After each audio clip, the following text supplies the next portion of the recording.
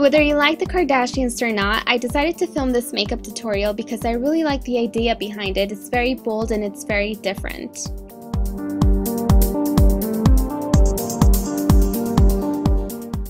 You want to start off with flawless looking skin. For this, I'm just going to take two layers of my favorite Neutrogena Healthy Skin Foundation and blend it out with one of the new Sigma 18 karat gold brushes.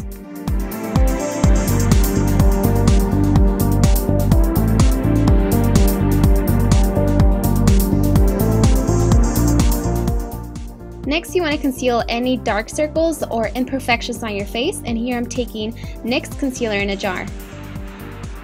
Since I already have a few layers of makeup, I'm just going to set it with some translucent powder by Airspun and I'm just taking one of the large powder brushes by Sigma. So Kim Kardashian has really thick, bold eyebrows. So for this, I'm just really gonna make sure I focus on making them really nice and angled and clean up the edges so they look perfect.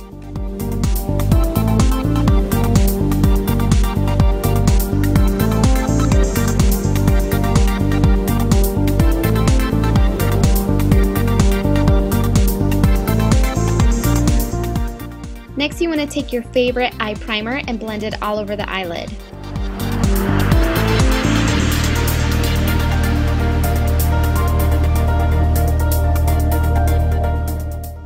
Taking a flat shader brush, I'm going to take a golden yellow from this e.l.f. palette. You can find it at Target. It's actually very affordable for all of these great colors.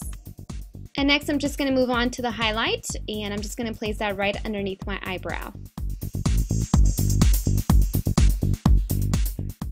So the last color you want to take a soft brown or even a deeper brown and I'm just going to take a tapered blending brush and place that on the crease and on the brow bone.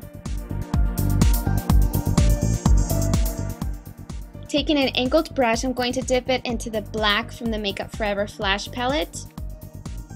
So I'm just going to line my top lid and just wing it very dramatically to the tip of my eyebrow.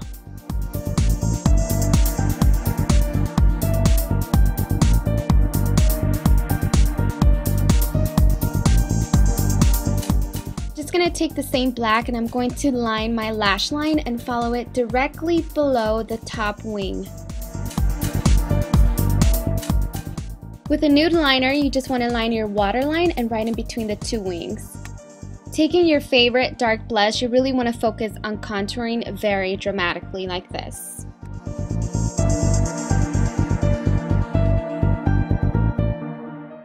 Last but not least, you just want to take the darkest red lipstick that you own, apply that, and you're pretty much done.